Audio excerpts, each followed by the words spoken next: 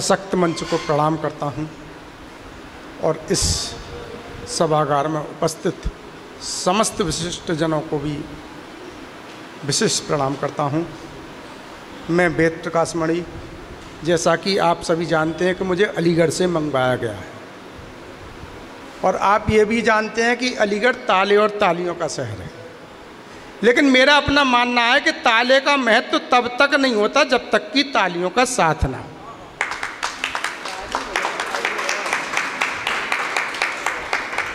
और एक विशेष साधुवाद के पात्र हैं हमारी मातृशक्ति चूँकि ये महा मातृशक्ति का वंदन अभिनंदन माँ भगवती के रूप में उनकी पूजा अर्चना के लिए ये समर्पित होता है। और ये बड़ा सौभाग्य का दिवस है कि आज इससे बड़ा नारी सशक्तिकरण हो नहीं सकता। कि आज इस कार्यक्रम की संयोजिका भी डॉक्टर अंजना कुमार जी और संचालिका भी कार्यक्रम की। सरता जी, मैं उनको प्रणाम करता हूँ। वास्तव में ये बड़ा सौभाग्य की बात है। मैं चार पंक्तियों के माध्यम से आपसे जुड़ने का प्रयास कि हमारा चरित्र, देखिए, चार चीज़ों पर मानव जीवन आधारित है, मेरा अपना मानना कि हमारा चरित्र आचरण और संस्कार एवं समर्पण कैसा होना चाहिए? चार पंक्तियों के माध्यम से मैं कहने का प्रयास स्वागत है बहुत बहुत स्वागत है चरित्र आचरण समर्पण और संस्कार चार पंक्तियों के माध्यम से। सिया राम सा चरित्र मरे यादवान हो। ऐसी कामना। हम सब ऐसे बने सिया राम सा चरित्र मर्यादावान हो। मात गंगा सा पवित्र करुणा निधान हो। सिया राम सा चरित्र मर्यादावान क्या बात हो। है। मात गंगा सा पवित्र करुणा निधान हो। राधे कृष्ण सा प्रेम योगी बलवान हो। राधे कृष्ण सा प्रेम योगी बलिवान हो। ध्वस्त रंगे के साथ स्वर्ग प्रस्थान हो। ध्वस्त रंगे के साथ ऐसी भावना, ऐसी कामना, ऐसा समर्पण होगा तो हमारा राष्ट्र कभी भी भूखा नहीं मर सकता, किसी के सामने हाथ नहीं फैला सकता। सशक्त भारत, अखंड भारत रहेगा। हमारा भारत सशक्त था, अखंड है, अखंड रहेगा। और मैं चार पंक्तियों के माध्यम से कहना चाहता हूँ कि हम लोग जो स्वप्न देख रहे हैं, वो कैसे पूरा होगा? कि वही राष्ट्र श्रेष्ठ व सर्वत्र महान होता है। कि वही राष्ट्र श्रेष्ठ व सर्वत्र महान होता है, जहाँ पूजा पद्धति एक ही विधान होता है। कि भाई राष्ट्र श्रेष्ठ व सर्वत्र महान होता है। जहाँ पूजा पद्धति एक ही विधान होता है, वो माटी चंदन पूजनीय बन जाती है, जहाँ पर रणवीरों का बलिदान होता है, जहाँ पर रणवीरों का बलिदान होता है। और मैं एक बात इन जिहादी मानसिकता को सावधान कर देना चाहता हूँ, सचेत करना चाहता हूँ कि मजहबी उन्माद में प्यार की बातें करते हैं। कि मजहबी उन्माद में प्यार की बातें करते हैं, तीर और ना ही तलवार की बातें करते हैं। यदि आँच आ जाए माँ भारता, भारती की अस्मिता पर, यदि आँच आ जाए माँ भारती की अस्मिता पर, फिर हम प्यार नहीं, अंगार की बातें करते हैं, अंगार की बातें करते हैं। और साथियों, जैसा कि मैं बता चुका कि मैं अलीगढ़ से आया हूँ ताले तालियों का शहर है। तो ताले तालियों का भी अपना एक महत्व होता है। तालियों का विशेष महत्व होता है कवि सम्मेलन में।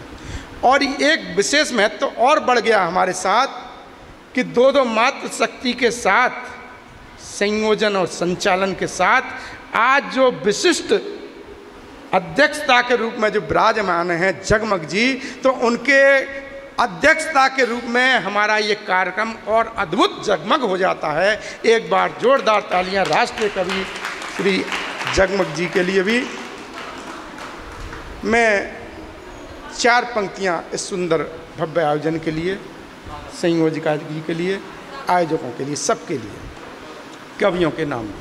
कवि आए हैं दूर से, आपके निवेदन पे कि कभी आए हैं दूर से आपके निवेदन पे प्रेम, प्रीत, प्यार के गीत गुनगुनाइए कि कभी आए हैं दूर से आपके निवेदन पे प्रेम, प्रीत, प्यार के गीत गुनगुनाइए कि भांति मत कविगण मंच पे विराजमान मान सम्मान कर तालियाँ बजाइए, मान सम्मान कर तालियाँ बजाइए। बहुत बहुत आभार आपका।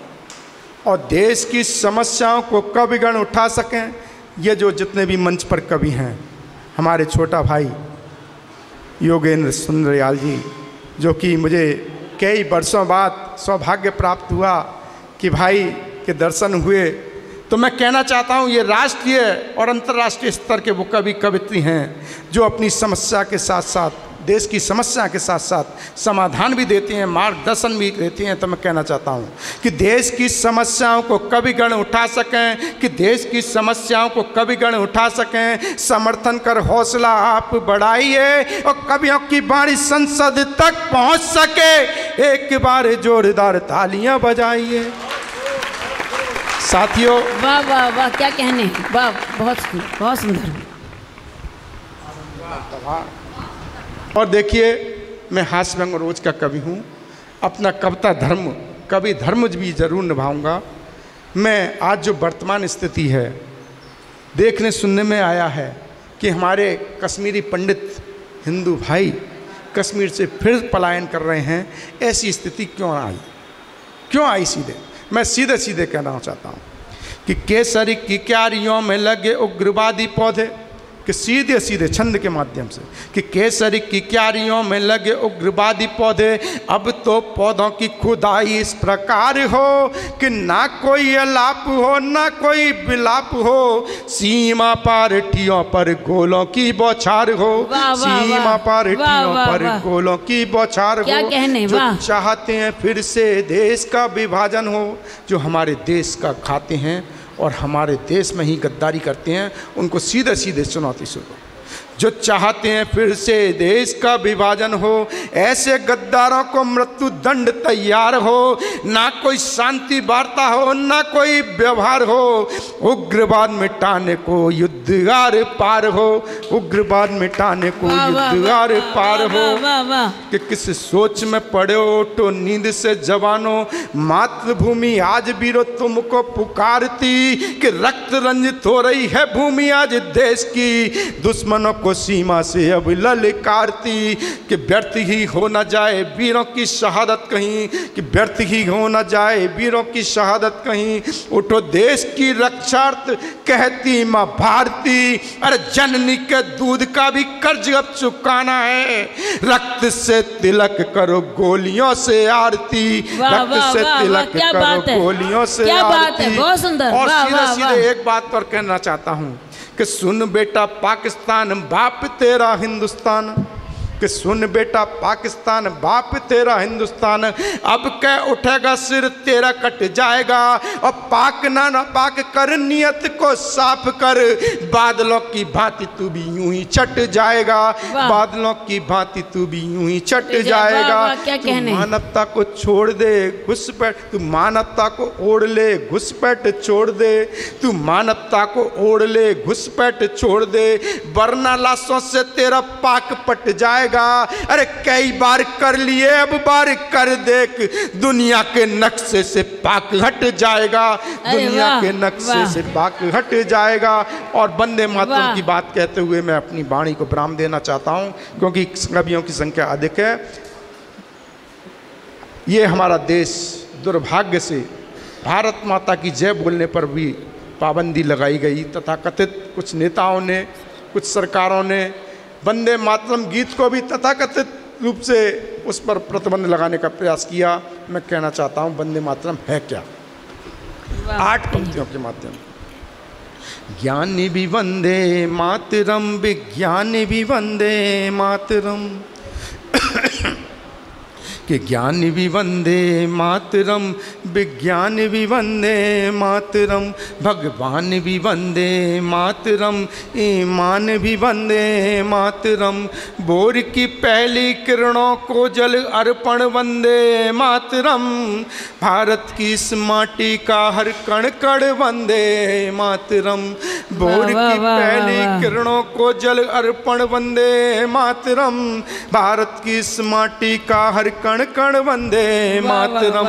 वाह। भारत की सीमा पर प्रहरी खड़ा है बंदे मातरम। मस्तक की हर बिंदिया में जड़ा है बंदे मातरम। भारत की पावन भूमि को मिलकर शीश नवाएँगे वंदे मातरम गाएँगे सब वंदे मातरम गाएँगे क्या बात है, वंदे मातरम गाएँगे सब, वंदे मातरम गाएँगे, वाह, वाह, वाह। अशफाकुल्ला बिस्मिल ने भी गाया वंदे मातरम क्या कहने? अशफाकुल्ला बिस्मिल ने भी गाया वंदे मातरम सुभाष चंद्र शेखर को भी भाया वंदे मातरम भगत सिंह के चोले ने भी पूजा वंदे मातरम। संसद के गलियारों में भी गूंजा वंदे मातरम। भगत सिंह के चोले ने भी पूजा वंदे मातरम। संसद के गलियारों में भी गूंजा वंदे मातरम। गीता वेद पुराणों में भी रहता वंदे मातरम। गंगा यमुना की धारा में बहता वंदे मातरम।